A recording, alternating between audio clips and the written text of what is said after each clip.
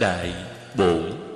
Như vậy tôi nghe, Một thời Thế Tôn ở tại nước Savatthi Rừng Seta, Vườn ông Anathabidika Trong am thất cây Kareri. Lúc bấy giờ, Số đông các tỷ kheo đi khất thực về. Sau khi dùng bữa xong, Cùng ngồi và tụ họp lại hoa lâm viên đường, Pháp thoại thuộc về tiền thân được khởi lên. Đây là tiền thân Thế Tôn với thiên nhị thanh tịnh vượt quá loài người, Nghe được câu chuyện này giữa các tỷ kheo. Rồi Thế Tôn từ chỗ ngồi đứng dậy, Đi đến hoa lâm viên đường Khi đến xong, Ngài ngồi trên ghế đã soạn sẵn. Sau khi ngồi, Thế Tôn hỏi các tỷ kheo, Này các tỷ kheo, Câu chuyện gì các người đang ngồi bàn? Câu chuyện gì đã bị gián đoạn giữa các ngươi khi được nói vậy, những tỷ kheo ấy, bạch thế tôn. Bạch thế tôn, chúng con đi khất thực về. Sau khi dùng bữa xong, cùng ngồi và tụ họp tại hoa lâm viên đường, pháp thoại về tiền thân được khởi lên. Đây là tiền thân, đây là tiền thân. Bạch thế tôn, đó là câu chuyện đang được bàn đến giữa chúng con. Thời thế tôn đến này các tỷ kheo, Các người có muốn nghe pháp thoại thuộc về tiền thân không? Bạch Thế Tôn, Thật là đúng thời. Bạch Thiện Thệ, Thật là đúng thời. Để Thế Tôn giảng pháp thoại thuộc về tiền thân. Sau khi nghe Thế Tôn, Các tỷ kheo sẽ thọ trì. Vậy này các tỷ kheo, Các người hãy nghe và khéo tác ý. Ta sẽ giảng Dạ vâng bạch Thế Tôn. Các tỷ kheo này đáp lời Thế Tôn. Thế Tôn giảng như sau. Này các tỷ kheo 91 kiếp về trước, Thế Tôn Vipassi Bậc A-la-hán chánh đẳng giác ra đời. Này các tỷ kheo 31 kiếp về trước, Thế Tôn Sikhi, Bậc A-la-hán chánh đẳng giác ra đời. Này các tỷ kheo cũng trong 31 kiếp ấy Thế Tôn Visapu bậc A La Hán chánh đẳng giác ra đời. Này các tỷ kheo, cũng trong hiện kiếp ấy, Thế Tôn Kakusanda bậc A La Hán chánh đẳng giác ra đời. Này các tỷ kheo, cũng trong hiện kiếp ấy, Thế Tôn Kunagamana bậc A La Hán chánh đẳng giác ra đời. Này các tỷ kheo, cũng trong hiện kiếp ấy, Thế Tôn kasapa Bậc A-la-hán Chánh đẳng giác ra đời. Này các tỷ kheo Cũng trong hiện kiếp ấy Nay ta Bậc A-la-hán Chánh đẳng giác ra đời. Này các tỷ kheo Thế Tôn Vipassi Bậc A-la-hán Chánh đẳng giác Sanh thuộc chủng tánh sát đế lì Sanh trong giai cấp sát đế lì này các tỷ kheo, Thế Tôn Si-khi bậc a la hán chánh đẳng giác thuộc chủng tánh sát đế lì sanh trong giai cấp sát đế lì này các tỷ kheo, thế tôn visapu bậc a la hán chánh đẳng giác thuộc chủng tánh sát đế lì sanh trong giai cấp sát đế lì này các tỷ kheo, thế tôn kakusanda, bậc a la hán chánh đẳng giác thuộc chủng tánh bà la môn, sanh trong giai cấp bà la môn. Này các tỷ kheo, thế tôn kodagamana, bậc a la hán chánh đẳng giác, thuộc chủng tánh bà la môn, sanh trong giai cấp bà la môn. Này các tỷ kheo, thế tôn kasapa, bậc a la hán chánh đẳng giác, thuộc chủng tánh bà la môn, sanh trong giai cấp bà la môn.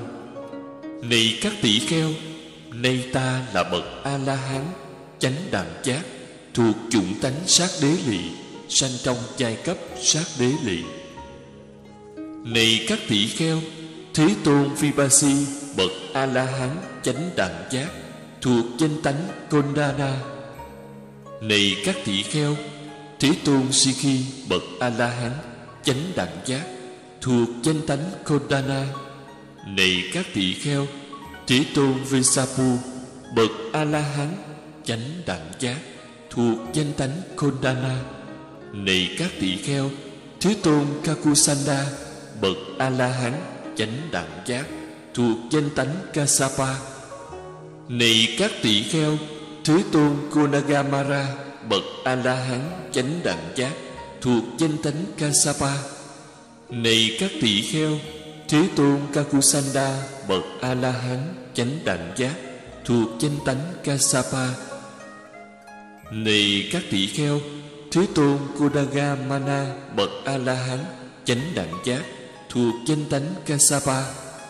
Này các tỷ-kheo thế tôn kasapa bậc a la hán chánh đẳng giác thuộc danh tánh kasapa. Này các tỷ-kheo nay ta là bậc a la hán chánh đẳng giác thuộc danh tánh gautama này các tỳ kheo, trong thời thế tôn vipassi bậc a la hán chánh đẳng giác, tuổi thọ loài người là tám vạn năm. Này các tỳ kheo, trong thời thế tôn si bậc a la hán chánh đẳng giác, tuổi thọ loài người là bảy vạn năm. Này các tỳ kheo, trong thời thế tôn visapu bậc a la hán chánh đẳng giác, tuổi thọ loài người là sáu vạn năm này các tỷ-kheo trong thời thế tôn kakusanda, bậc a la hán chánh đẳng giác, tuổi thọ loài người là bốn vạn năm. Này các tỷ-kheo trong thời thế tôn Kunagamana bậc a la hán chánh đẳng giác, tuổi thọ loài người là ba vạn năm.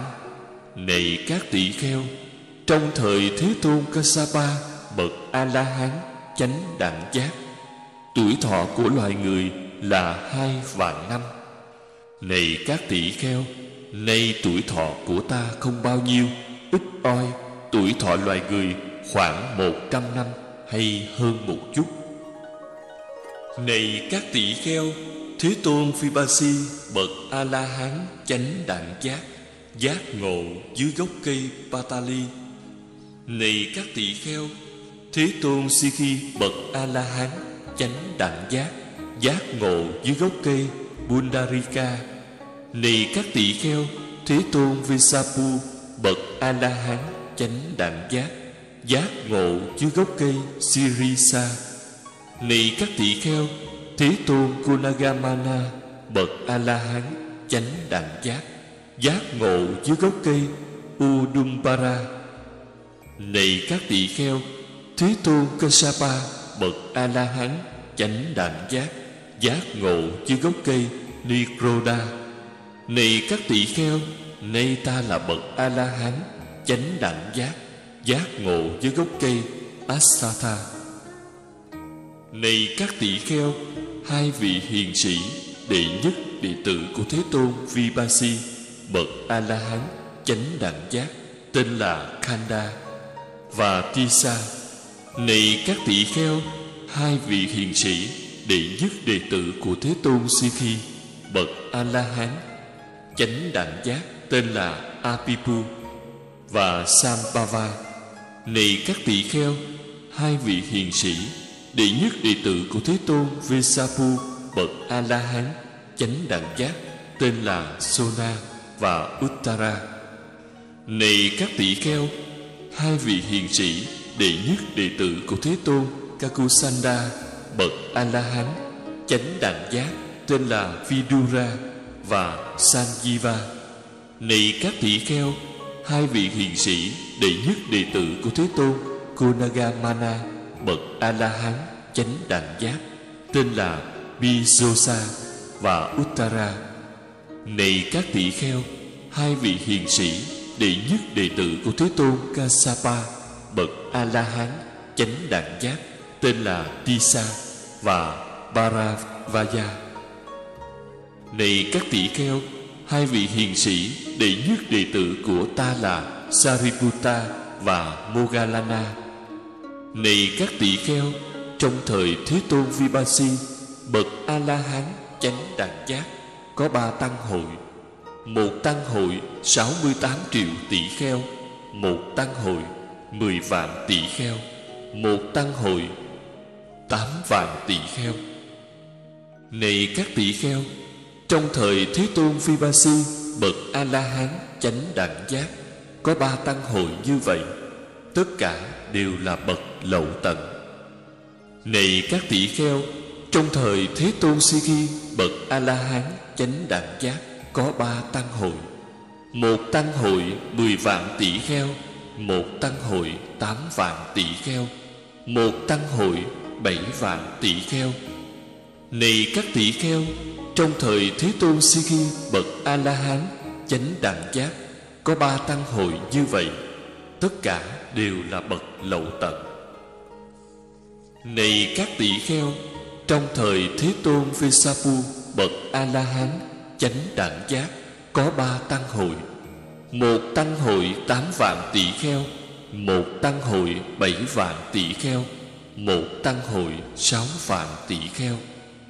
Này các tỷ kheo, trong thời thế tôn Vesapu bậc a la hán, chánh đẳng giác, có ba tăng hội như vậy, tất cả đều là bậc lậu tận. Này các tỷ kheo, trong thời thế tôn kakusanda, bậc a la hán, chánh đẳng giác có một tăng hội bốn vạn tỷ kheo. Này các tỷ kheo, trong thời thế tôn kakusanda, bậc a la hán chánh đẳng giác, có một tăng hội như vậy, tất cả đều là bậc lậu tận. Này các tỷ kheo, trong thời thế tôn kodagamana, bậc a la hán chánh đẳng giác, có một tăng hội ba vạn tỷ kheo. Này các tỷ kheo trong thời thế tôn Kunagamana, bậc a la hán chánh đẳng giác, có một tăng hội như vậy, tất cả đều là bậc lậu tận. Này các tỷ kheo, trong thời thế tôn kasapa, bậc a la hán chánh đẳng giác, có một tăng hội hai vạn tỷ kheo.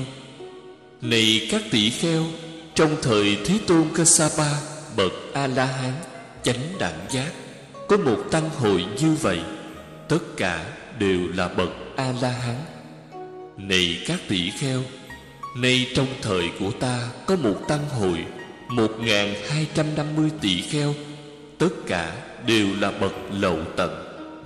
Này các tỷ kheo, thế tôn vipasi bậc a la hán chánh đẳng giác.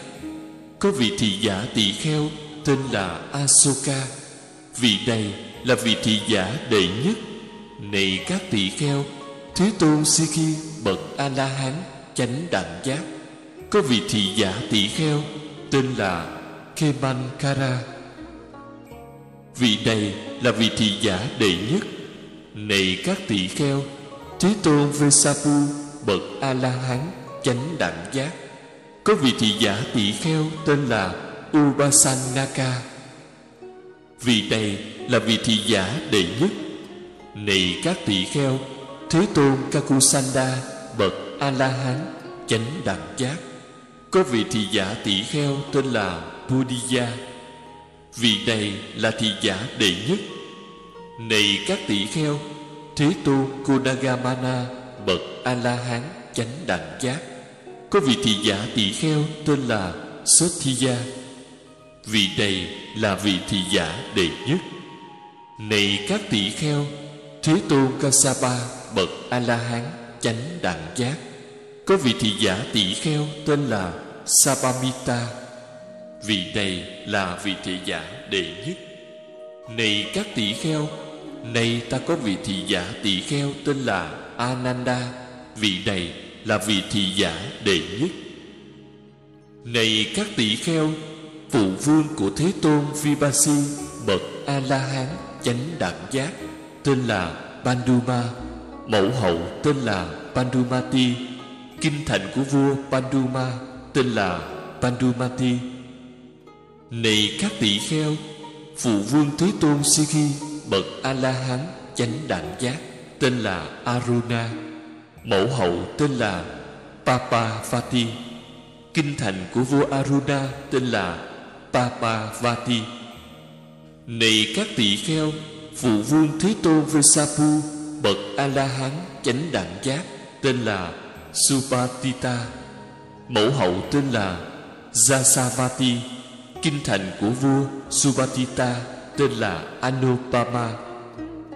Này các tỷ kheo, Phụ thân Bà La Môn của Thế Tôn Kakusanda, Bậc A-la-hán Chánh đẳng giác, Tên là Agidata. Mẫu thân Bà La Môn tên là Visakha. Này các tỷ kheo, Lúc bấy giờ, Vua trị vì tên là Khema, Kinh thành vua Khema tên là Khemavati. Này các tỷ kheo, Phụ thân Bà La Môn của Thế Tôn, Konagamana, Bậc A-la-hán chánh đạm giác, Tên là Sanayata Mẫu thân Bà La Môn tên là Uttara.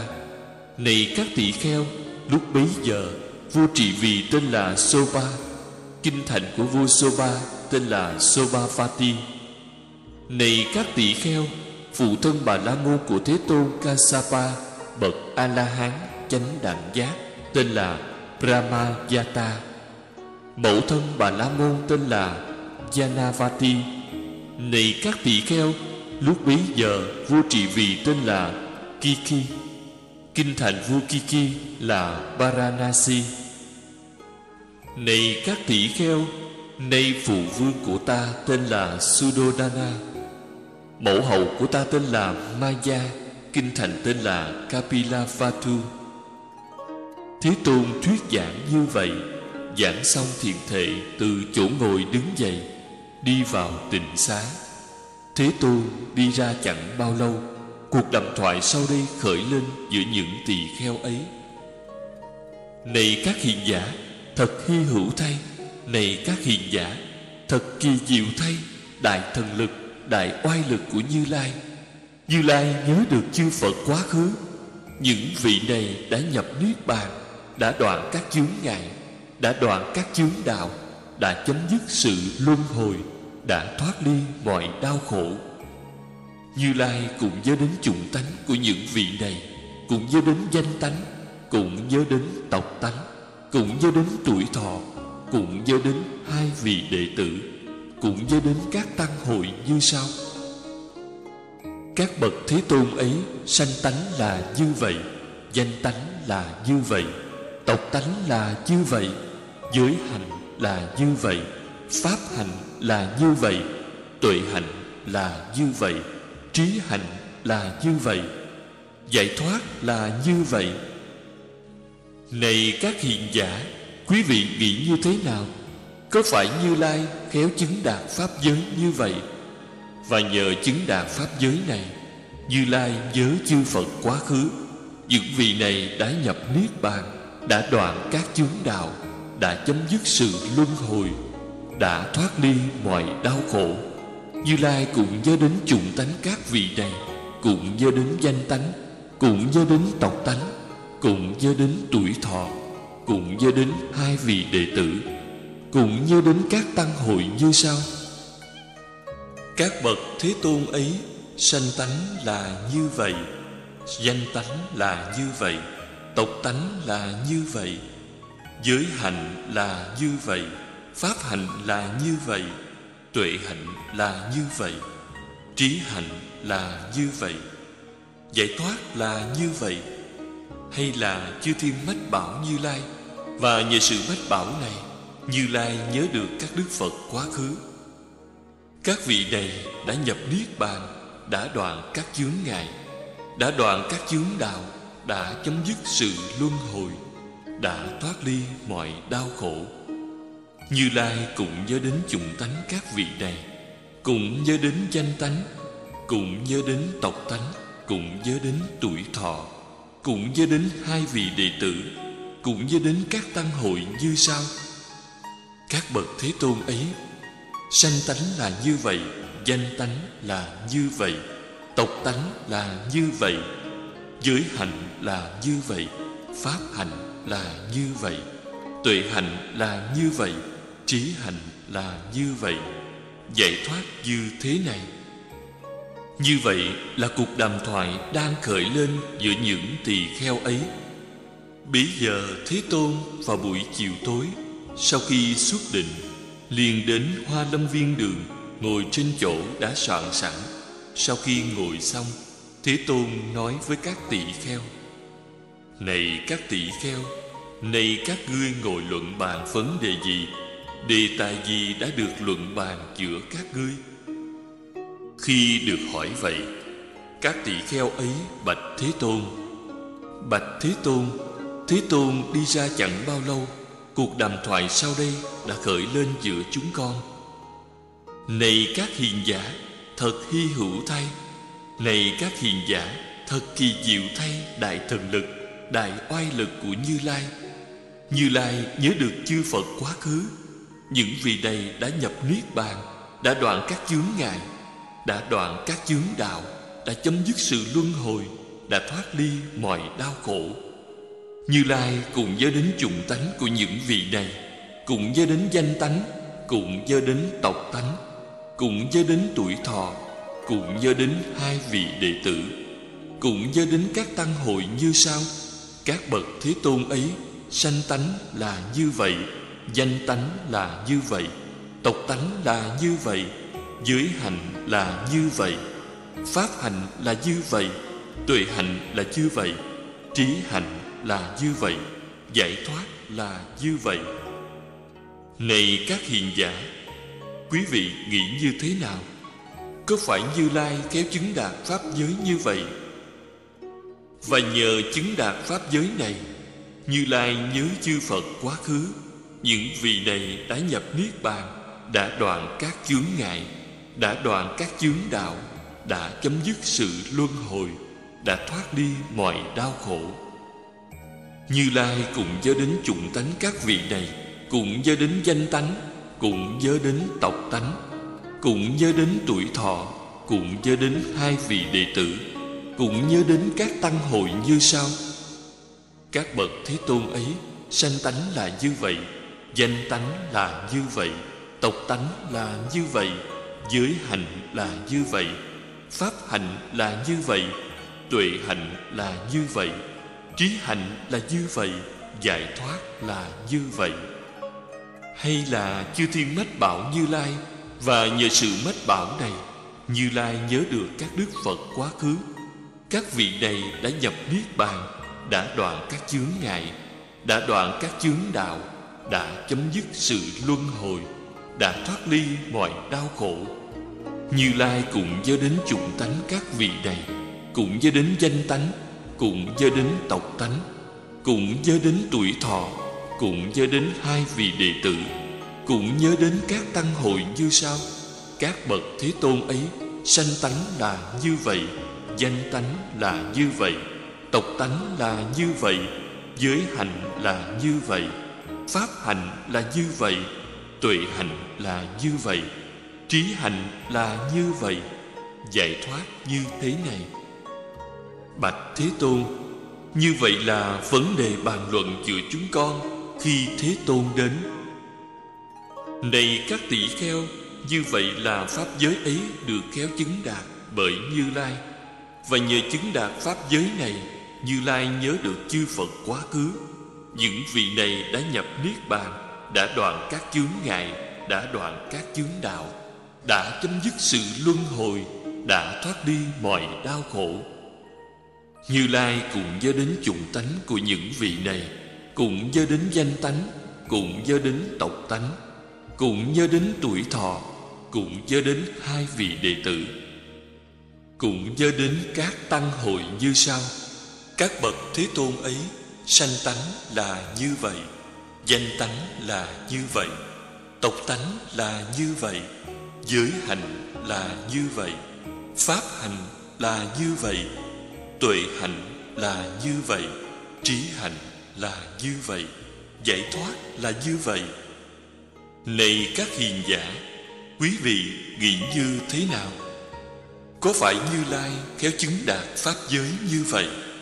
Và nhờ chứng đạt Pháp giới này, Như Lai nhớ chư Phật quá khứ, Những vị này đã nhập Niết Bàn, Đã đoạn các chướng ngại, Đã đoạn các chướng đạo, Đã chấm dứt sự luân hồi, Đã thoát ly mọi đau khổ. Như Lai cũng nhớ đến chủng tánh các vị này, Cũng nhớ đến danh tánh, Cũng nhớ đến tộc tánh, Cũng nhớ đến tuổi thọ. Cũng nhớ đến hai vị đệ tử, Cũng nhớ đến tăng hội như sau các bậc thế tôn ấy, sanh tánh là như vậy, danh tánh là như vậy, tộc tánh là như vậy, giới hạnh là như vậy, pháp hạnh là như vậy, tuệ hạnh là như vậy, trí hạnh là như vậy, giải thoát như vậy. Này các tỷ kheo vậy hãy nghe và suy nghĩ kỹ, ta sẽ giảng. Thưa vâng bạch thế tôn. Các tỳ kheo ấy vâng lời thế tôn. Thế tôn giảng như sau. Này các tỷ kheo, cách đây 91 kiếp về trước, thế tôn vipassi bậc a la hán chánh đẳng giác ra đời.